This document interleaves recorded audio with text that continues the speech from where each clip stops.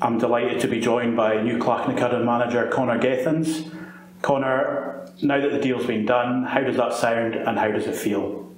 Yeah, I'm absolutely delighted to be honest. Um, it's taken a week and a half now, but we got there eventually. Um, we had this conversation a few years ago and it just wasn't the right time and this was the right time for me. I just feel that I'm getting to the end of my career and the club is on my doorstep. It's historically one of the biggest clubs in the Highland League, if not the biggest, and I'm just absolutely delighted to be part of it.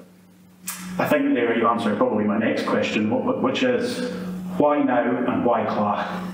Well, at Nairn, uh, I had a goal when I came back to Nairn was to hit my 200th goal for Nairn, and I did that and more actually. Um, and just now is the right time. Last couple of years, I had good experience with the younger guys at Nairn, and I was giving them some advice, and I felt that they were responding to that advice, and I feel that now is my time to give my thoughts and views on the way I want to play, um, especially these young Clach boys. And from the last couple of games, I saw they're enthusiastic, they're hardworking, and the willingness to win and learn looked exactly what I was needing.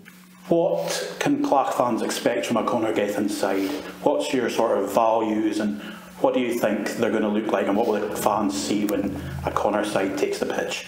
Hard work is going to be the key um, aspect that we're going to bring into it and, and it'll start on, on Monday night of training. And just want to be brave. We know right now we're second bottom, we need to work hard and get out of that. But eventually we're going to have some really fast flowing football. We're going to be very attacking brought in Robbie Duncanson now also. Um, he's been he was a strike partner at Nairn for five years, um, and I just feel that with myself and Robbie and, and Blair, for example, all attacking players, we want to bring that into it, but we need to defend as well, and we've got players in mind that can help us do that.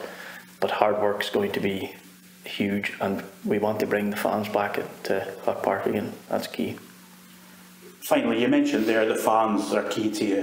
What's your message to the Clach supporters going forward? What would you like to say to them just now?